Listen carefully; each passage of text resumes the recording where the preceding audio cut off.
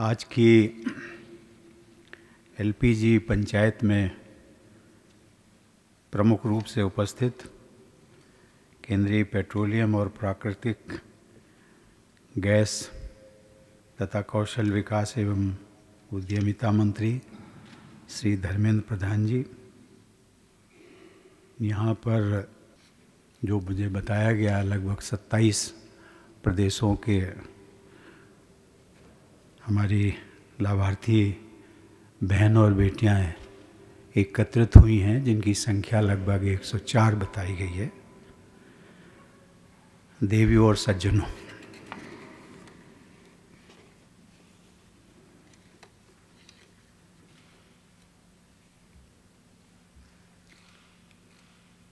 ये कुछ क्षण भावुक होने के हैं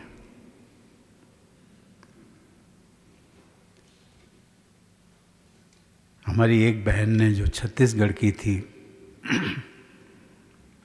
जिसने कहा कि समय तो हम नहीं खरीद सकते हैं, लेकिन उज्ज्वला खरीद कर समय बचा सकते हैं।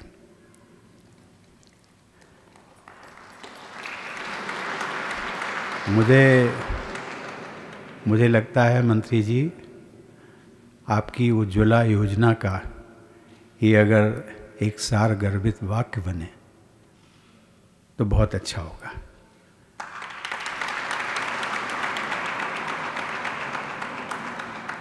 पाँच बहनें आई। छत्तीसगढ़, त्रिपुरा, पश्चिम बंगाल, उड़ीसा।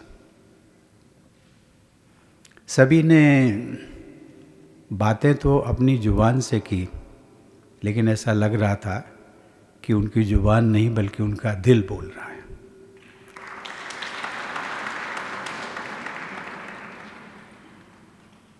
महिलाओं के, खासकर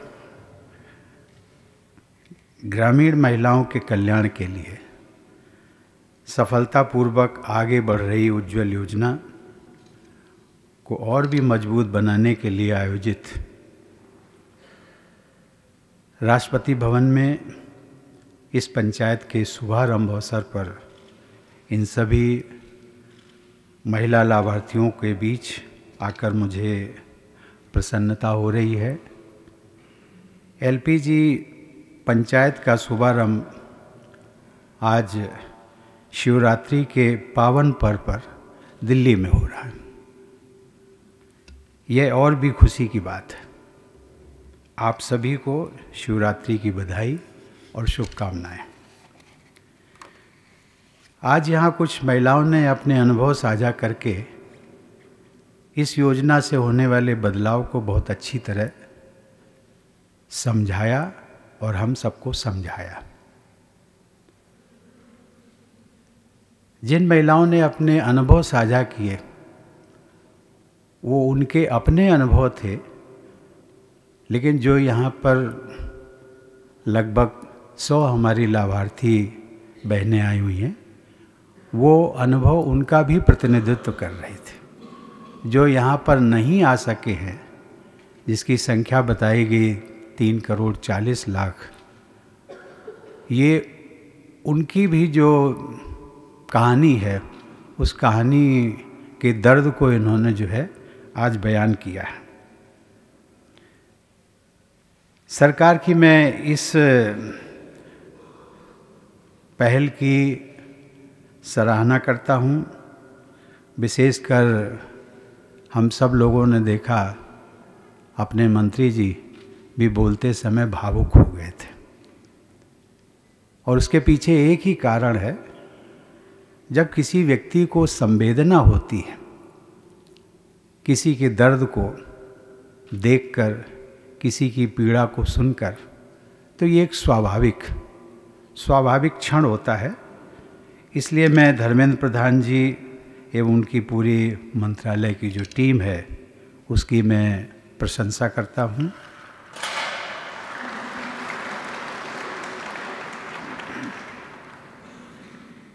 गाँव की महिलाएँ घर परिवार के लिए चूल्हे पर खाना बनाती हैं।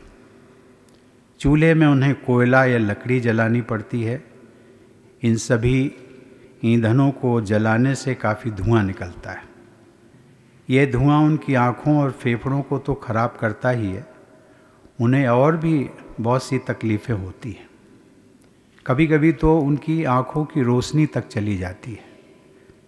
दमे की बीमारी, होना और उसका गंभीर रूप लेना एक आम बात है। कभी कभी वे जानलेवा दुर्घटनाओं की भी शिकार हुई हैं।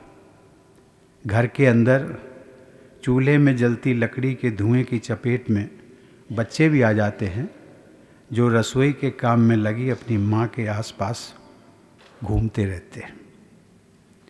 सही बात तो ये है कि हमारी महिलाएँ जो एलपीजी सुविधा से वंचित है, उन्हें धुएँ का जहर पीना पड़ता है।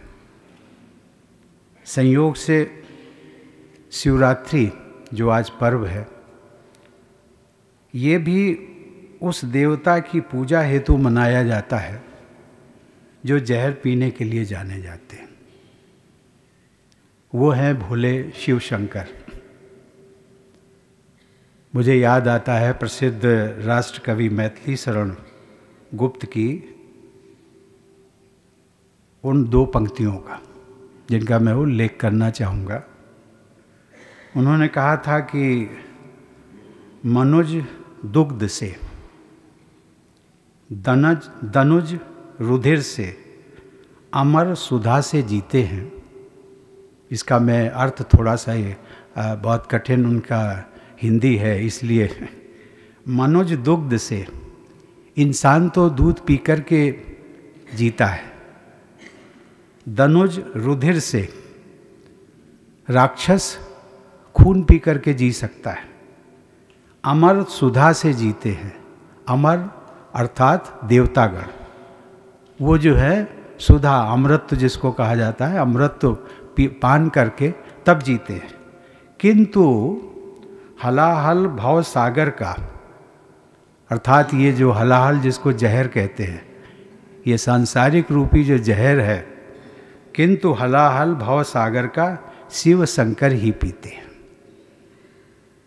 इसी तरह हमारी बहन बेटियाँ भी धुआँ रूपी जहर अपने परिवार के लिए पीती हैं। और एक बहन ने कहा भी कि मुझे खुशी उस धुएँ के जहर को पी कर के भी होती थी कि जब वो खाना पकाती थी अपने बच्चों के लिए, अपने परिवार के खातिर। एक डब्ल्यूएचओ की एक रिपोर्ट आई है। उसके मुताबिक चार दीवारी के अंदर की हवा के प्रदूषण से भारत में हर साल तकरीबन पाँच लाख लोग असमय मृत्यु का शिकार होते हैं। बीमारी के अलावा और भी बहुत से नुकसान होते हैं। घरों के बच्चे, खासकर बेटियाँ, ऐसे चूल्हों की वजह से बीमार तो पड़ती ही हैं, उनका जो समय और ताकत खेल कूद और पढ़ाई लिखाई में लगनी चाहिए। वह ईंधन इकट्ठा करने के लिए माँ की मदद करने में और धुएँ से पैदा होने वाली तकलीफ़ों से जूझने में खप जाती है। यही नहीं, पूरे परिवार की आमदनी पर भी ऐसे चूल्हे चौके का बुरा असर पड़ता है, जो समय और शक्ति किसी और काम में खेती बाड़ी दुकानदारी या कोई अन्य काम धंधा में लग सकता है वह भी बर्बाद होता है। लकड़ियाँ व कोयला आदि जलाने से हम सब लोग जानते हैं प्रदूषण बढ़ता है। इन सभी तकलीफ़ों और नुकसानदेह परिणामों पर ध्यान देने से उज्ज्वला योजना का महत्व अधिक हो जाता है। यह पूरे देश के लिए खुशी की बात है कि जिन तकलीफ़ों का मैंने ज़िक्र किया, उनसे उज्ज्वला योजना की सहायता से अभी तक तीन करोड़ चालीस लाख परिवारों को मुक्ति मिली है। परिणाम स्वरूप इन तीन करोड़ चालीस लाख महिलाओं समेत देश में लगभग चौदह पंद्रह करोड़ की आबादी रसोई घर के धुएँ से मुक्त हो गई है। मुझे बताया गया है कि भारत सरकार द्वारा उज्ज्वला योजना के तहत एलपीजी की सुविधा को अभी मंत्री जी ने भी उसका उल्लेख किया। लगभग आठ करोड़ परिवारों तक पहुँचाने का लक्ष्य रखा गया। इससे इस योजना का लाभ लगभग 25 से 30 करोड़ लोगों तक पहुंचेगा। सबसे खुशी की बात यह है कि इन लगभग आठ करोड़ महिलाओं को परंपरागत चूल्हे से जुड़ी तकलीफ़ों से मुक्ति मिल जाएगी। इन महिलाओं और उनकी बेटियों के स्वास्थ्य को लाभ मिलेगा। साथ ही उनका समय बचेगा, जिसका उपयोग वे पढ़ाई लिखाई और दूसरे उपयोगी कामों के लिए कर सकती हैं। आज ज़रूरत है कि एलपीजी की सुविधा का उपयोग करने वाली महिलाएँ आपस में मिलें, बैठें, बात करें, अपना अनुभव बांटें, सलाह मशवरा करें।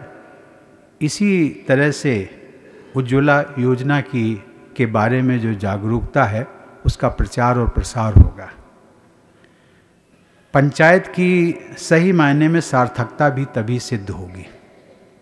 मुझे विश्वास है कि उज्ज्वला योजना के तहत एलपीजी पंचायत की आज की यह पहल बहुत ही उपयोगी साबित होगी। इस तरह उज्ज्वला योजना महिलाओं के स्वास्थ्य, समय, ऊर्जा, रुपए, पैसे की दृष्टि से लाभ पहुंचाते हुए सही मायने में नारी सशक्तिकरण को मजबूती प्रदान करना है। एलपीजी पंचायतें उज्ज्वला योजना को तेज़ी से तथा प्रभावी ढंग से आगे बढ़ाने में बहुत ही उपयोगी सिद्ध होंगी। मंत्रालय का लगभग एक लाख इसी प्रकार की पंचायतें आयोजित करने का भी जो लक्ष्य रखा गया है, वह भी बहुत सराहनीय है। महिलाओं के स्वास्थ्य, कल्याण और सशक्तिकरण के ज़रिए सामाजिक न्याय को आगे बढ़ाने के इन सराहनीय प्रयासों के लिए मैं एक बार फिर केंद्रीय पेट्रोलियम और प्राकृतिक गैस मंत्रालय को बधाई देता हूँ। मैं उज्ज्वला योजना और एलपीजी पंचायत की सफलता के लिए शुभकामनाएँ देता हूँ। मुझे पूरा विश्वास है कि एलपीजी पंचायतों के ज़रिए उज्ज्वला योजना अपने नाम के अनुरूप हमारी माताओं, बहनों और बेटियों के भविष्य को भी उज्जवल बनाएगी धन्यवाद जय हिंद।